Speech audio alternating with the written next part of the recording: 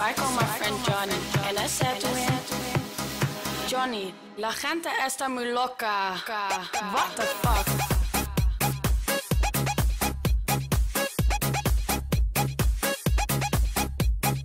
Coucou mes petites biches, aujourd'hui je vous retrouve pour une vidéo qui n'a plus été faite depuis extrêmement longtemps, étant donné que la dernière date de 2014.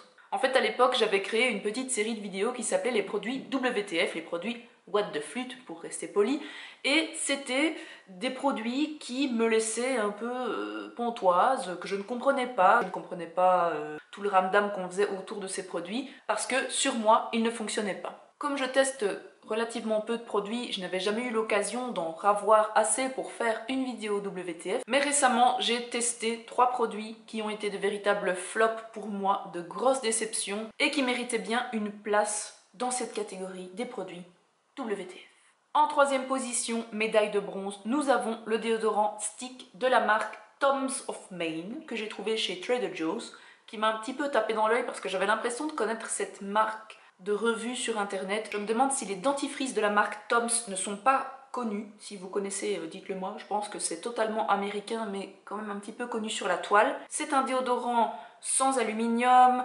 avec euh, des ingrédients d'origine végétale, pas d'ingrédients d'origine animale, pas de test sur les animaux. La composition est très bonne, il est euh, sans parfum et il promet une protection contre les mauvaises odeurs des aisselles. Et comment vous dire que c'est totalement un flop parce que il ne fonctionne pas du tout. Il ne sent effectivement presque rien, ça doit juste sentir les ingrédients, mais il n'y a pas grand chose dedans donc ça ne sent presque rien, mais il n'a pas du tout d'effet. Et je peux vous dire que chez moi, un déodorant, on voit vite si ça fonctionne ou pas, étant donné que depuis l'arrêt de la pilule, j'ai attrapé une transpiration euh, assez bien odorante. Hein. voilà, petit moment glamour de la vidéo. Mais donc ça c'est un gros flop. Il coûte entre 4$ et 4,50$ selon l'enseigne où vous l'achetez, mais je vous le déconseille fortement. En deuxième position, médaille d'argent, le shampoing sec Refresh Plus Care Detox and Purify de Dove qui coûte 4$ chez Harmon Discount. Ce produit est vraiment un énorme WTF qui aurait pu avoir la médaille d'or s'il n'y avait pas l'autre produit que je vais vous présenter après. Parce que concrètement, j'ai acheté ce shampoing sec en me disant « Oh, Dove, c'est bien, je connais pas leur shampoing sec, je vais tester. En plus, l'odeur avait l'air sympa et effectivement, il sent très bon. Mais ce n'est pas un shampoing sec. C'est un mélange de glu et de lac et de je ne sais quoi qui rend les cheveux crépus, secs et euh, aussi euh, doux et soyeux que de la paille. C'est absolument horrible. J'en ai mis juste une fois en me disant allez Momo, rafraîchis tes racines, teste ce nouveau produit. J'ai eu l'impression d'avoir crépé mes cheveux, donc tout le devant de mon crâne était complètement euh, ébouriffé, sans que j'ai rien fait du tout dedans à part pchiter le produit. Et on aurait vraiment dit que je touchais une botte de foin.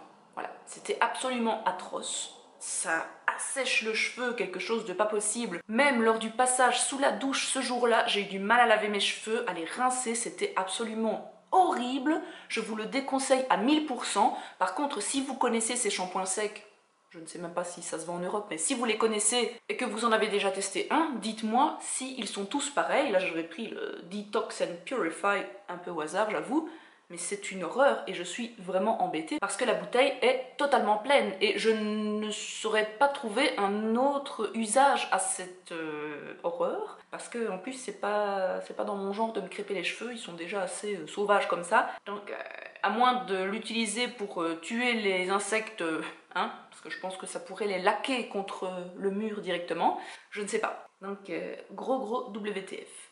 Et en première position, médaille d'or de ce classement, c'est une grosse déception, c'est le déodorant en stick Schmidt au cèdre et à la baie de Genièvre qui coûte 9$ sur iHerb. Il a la médaille d'or de ce classement parce que J'étais hyper contente de ce produit, je vous en ai même fait un article en vous disant que j'avais trouvé le Saint Graal qui remplaçait mon déodorant Belle Bulle adoré que je n'avais plus aux états unis étant donné que le site ne livre pas ici. Et en fait, le déodorant fonctionne super bien, je suis passée outre l'odeur de sapin qui ne reste pas sous les aisselles, il est vegan, il est cruelty free, la composition est impeccable, mais l'énorme problème de ce déodorant, c'est qu'il tache mes vêtements. Au bout d'une, deux, trois lessives, je me suis dit tiens, je sais bien que les machines ici sont pas terribles, mais quand même, mes autres vêtements ressortent propres, les vêtements du crollet ressortent propres. Pourquoi les t-shirts que j'ai portés quand j'ai appliqué ce déodorant ressortent avec de grosses traces jaunâtres, un peu grasses, toutes dégueulasses en dessous des aisselles?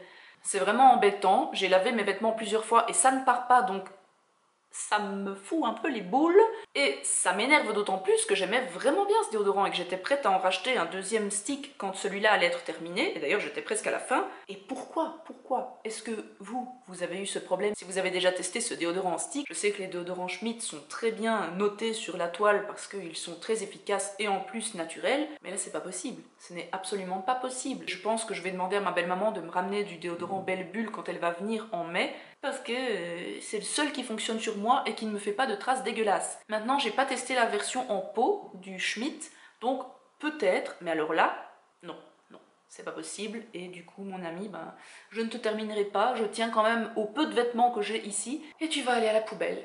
Désolée. Et voilà pour cette vidéo produit WTF. J'espère qu'elle vous aura plu. Dites-moi si vous aimez que je vous parle parfois de mes flops, même s'il n'y en a pas souvent. Je trouve que ça permet aussi de donner un avis constructif et une revue d'un produit qu'on n'a pas aimé. Après tout, on n'est pas toujours obligé de parler que de jolies choses merveilleuses et qu'on adore. Hein. Pousser des coups de gueule, c'est bien aussi. Vous pouvez mettre des pouces en l'air pour que j'en fasse plus. En attendant la prochaine vidéo, n'oubliez pas que vous pouvez me rejoindre sur les réseaux sociaux qui sont juste ici. Vous pouvez vous abonner à la chaîne et aller voir une autre vidéo en attendant la prochaine. Moi, je vous fais de gros bisous et je vous dis à bientôt.